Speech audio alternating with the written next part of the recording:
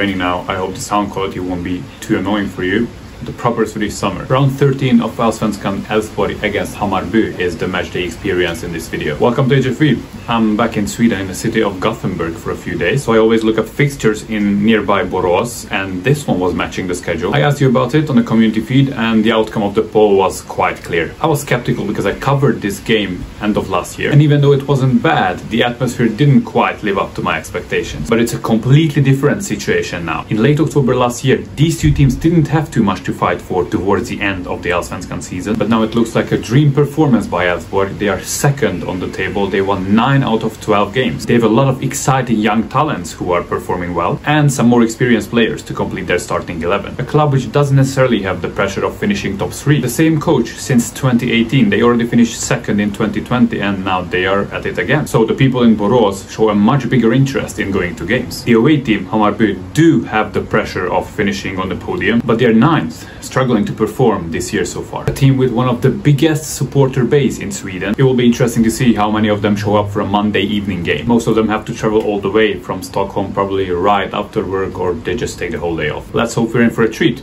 and check out the previous Elfsborg Hammarby vlog, link in description.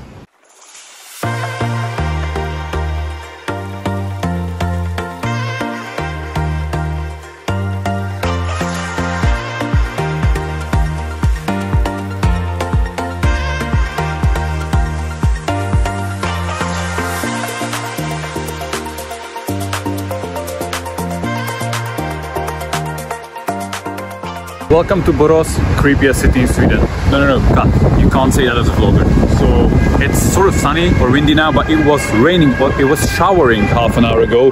And uh, I got some funny comment yesterday to introduce the statues or else I'm gonna get comments every day. Well, guys, comments for the channel uh, every day are a really good thing. it brings the channel forward, so sorry but I take it as a request. So I'll introduce you three statues because I didn't really educate myself on it and uh, we're a bit short on time.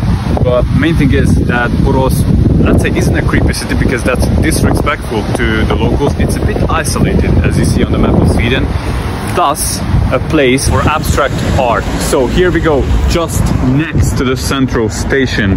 The first statue I'm going to introduce you is the statue of Tomas Olsson. He was an adventurer and extreme skier who died at the age of 29 falling down from a cliff on Mount Everest if I remember correctly. He wasn't born here but he grew up in Borås so it is significant for the town next the human ostrich um, so oh the sign is not visible anymore. So this is uh, meant to, to make people aware of uh, ignoring the inner society or maybe ignorance. Well these two words have completely different meaning. I'm not an expert but uh, as much as it's interesting i think it's meant to make people aware of contemporary problems in society the next one which is the last one this is viskan the river of borås and here is fredrik Wretman's, sorry for the pronunciation if it's wrong, so Fredrik Wretman's uh, body or uh, Buddha.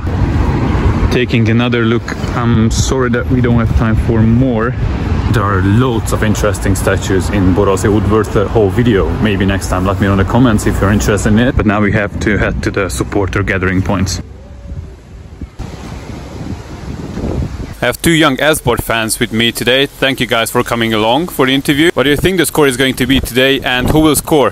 I think it will be 3-1. Gudjohnsen will score 1, Ockelsson and Bernhardsson and I think for Hammarby, Besara will score. I think uh, Elfsborg will uh, win if they win with one goal, so 1 LS will say. What do you think? 2-0 uh, for Elfsborg. You guys are really at it this year. 9 wins out of 12. Thoughts about that? Yeah, I think it's great. I mean, uh, we have been consistent for many, many years. Same coach, same idea of playing, and finally we have the players for it. So it's a collective effort. It's not only one person, it's really a team behind it. A lot of young players. Do you think that is the key for the success this year? Uh, definitely, and when you combine it with the older players, so you have the, um, the mix of young and old, I think that's very good and very you, I think you need it if you're gonna success in the league. I think we have uh, some young players that have been uh, good this year and uh, the sporting director is good because he's not kicking players, uh, like kicking managers uh, everywhere like last year the manager we didn't win in 12 games in a row, and you know. Um, And the manager still stays, right? And now he's here and building the team, and the team is doing a lot better. Exactly. Favorite player? Uh, Niklas Hult, he is left back. He is very good.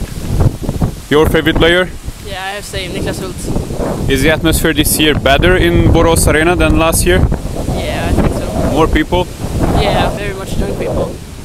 I see a lot of your age and a bit bit older go to the games and fire up the team.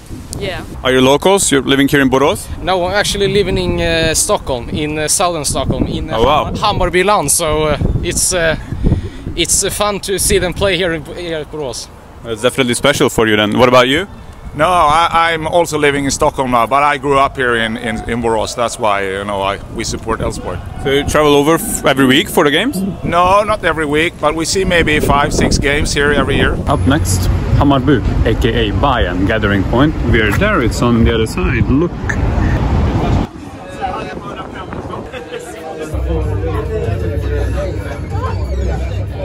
Did you come from Stockholm? Uh, actually, no. I came uh, from from Malta. Uh, I'm here on uh, vacation now with uh, my father-in-law lives here in uh, in Borås, so uh, I actually came for just because of this game.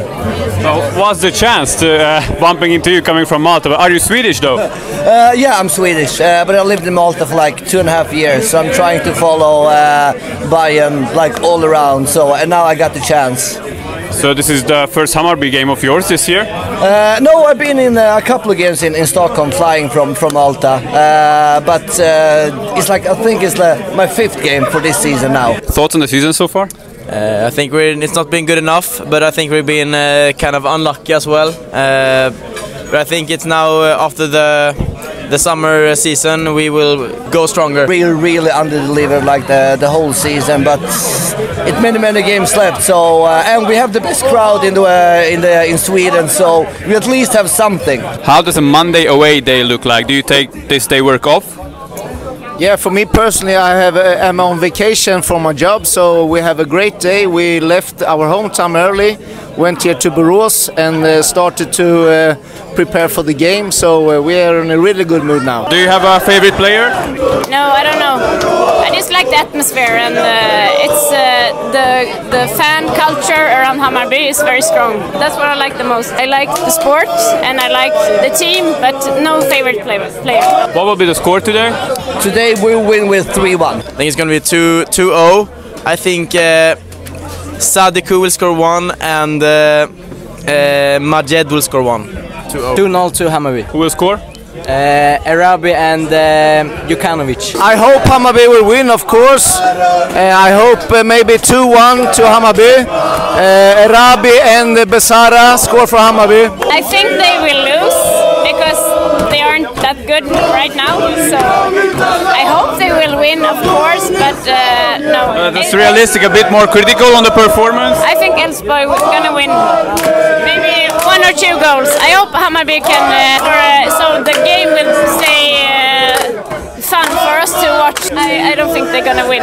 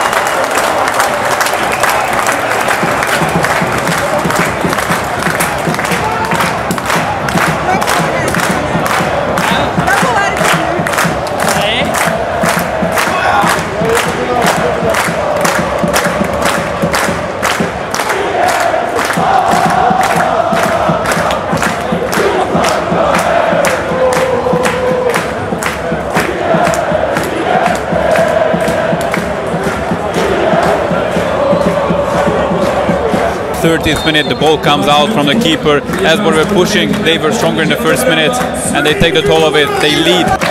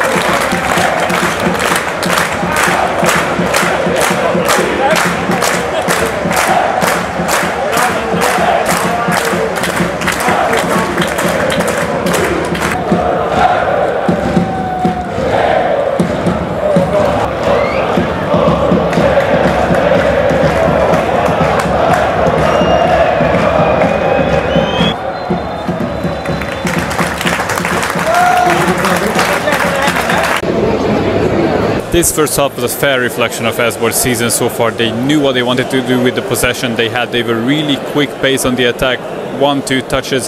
They were really effective in what they did. Perhaps they could have scored one more as well. Bajen weren't effective enough in the attacking third. They had their possession, they had their attacks, but eventually they couldn't finish them. Let's see about the second half.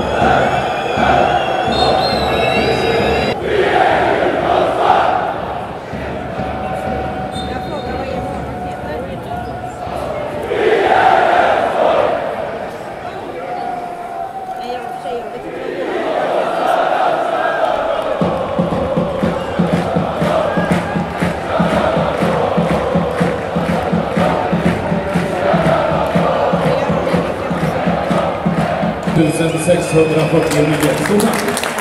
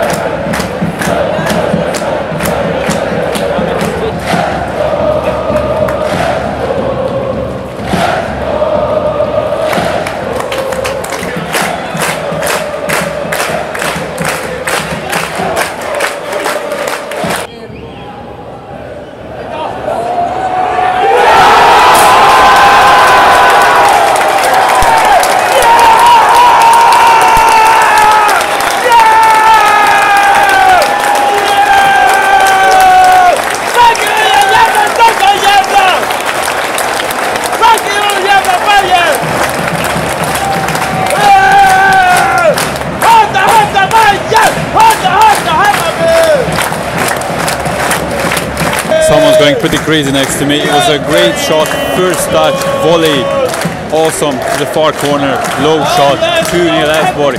86 minute, that's the win for them, surely.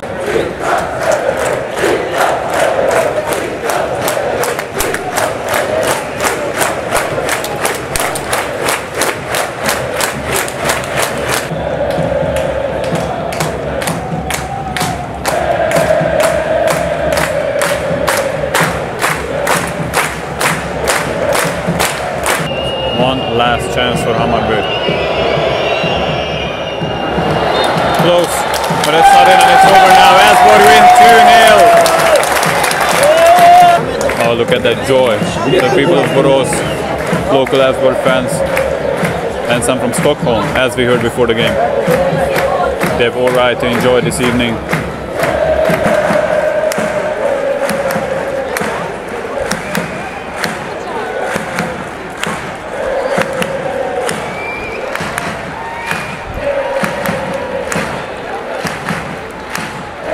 Hammarby struggles continues.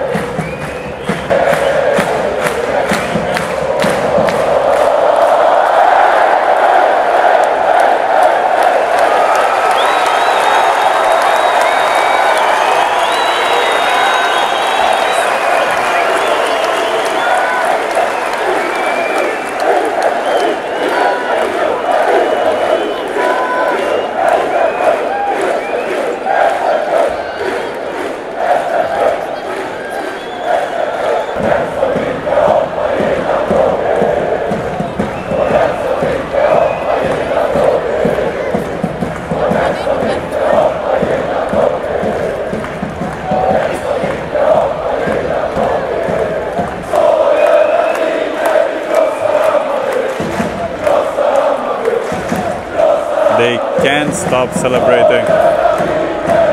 If I understood correctly, they chanted the derby against IFK Göteborg in two weeks. I'm gonna be there for that one, of course. And now they are chanting about something like that's what we that's what you do when you beat Hammarby.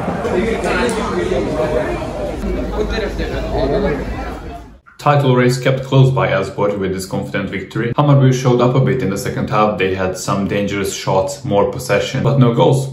And with Mjällby drawing Kalmar, they are now down to the 10th place. The teams who have a game more will play European qualifications later this summer. Except for Degerfors, they just had to play extra because of this. Hammarby will face Twente from the Netherlands later this month. They really need to sharpen up in the attacking third or else they won't stand a chance. I must say out of my four visits to Borås, this was the most enjoyable by far. The weather was excellent. I think the city just used up all the sunlight for the rest of the year. The people I met for the interviews were really lovely, fair-minded supporters. I hope the video gets back to all of you. Thank you very much for your contribution. That's all guys. A few of you asked in the comment section of the previous video why I don't show anything of the game anymore. Because I used to, but there were unfortunate happenings earlier this year. To find out more about it, click the third link below in the description box. I hope you liked the content. Feel free to join me on the channel's social media pages. All possibilities on screen. The Sweden playlist is always there for you. This was my 26th game in the country, so there's plenty to check out. I was HFV. Vi ses om två veckor. Goodbye.